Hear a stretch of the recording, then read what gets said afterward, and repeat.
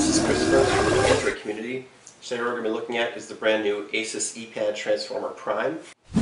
We're back out here. You can see that we have quite a few more options besides just this thing. Um, you can see our battery use there, that's with everybody, but we have Asus customized settings. Uh, you can change it so you can be allowed to get that super IPS mode. Um, we also have uh, the ability to take a screenshot right from your screen, your front screen here. What it does this option does is allow you to hold down your recent apps key and then it'll take a screenshot, so that's pretty cool. Um, you have system performance, you can change that between normal, balanced, and power saving. That's what we saw down here in this menu as well. Um, you got Asus Quick settings. That'll uh, be the same. That'll just activate this little thing down here we just saw. Uh, touchpad pointer style. Now that changes what you're doing with your mouse pad down here. Uh, let me show it to you quick. Right here. Now, um, with other uh, laptop situations with, with Android, you might not get this mouse, but we have a nice little mouse that flies around like that. It has a blue glow to it and black inside, and it works surprisingly well. I don't mean surprisingly well like Asus wouldn't be able to do it, but I've never seen a mouse pad work this well with Android before. Um, have mobile dock battery saving mode. That just works with the dock and then pretty much the same uh, settings over on the left here other than that.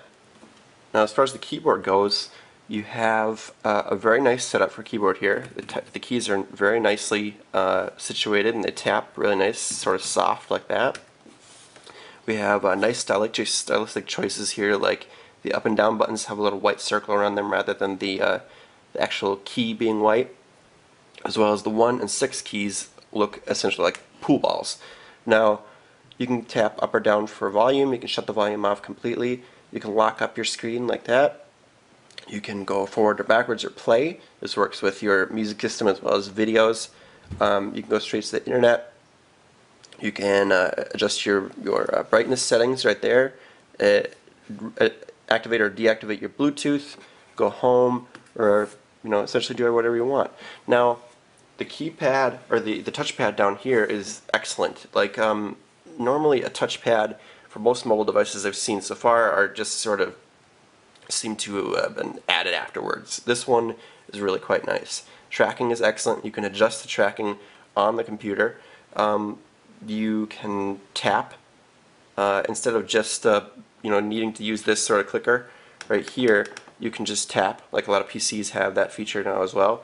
And then um, to uh, de to detach the whole thing you just have to do like so. You have to uh, pull that and you have it off.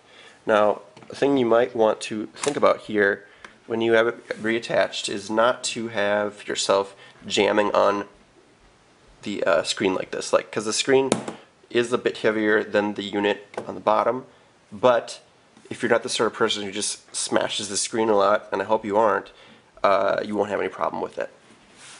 Now, close this up, you can see that we have some pads in the bottom that hold it in place. Really nice. Um, the pad itself doesn't have that much to it. You just have this for power.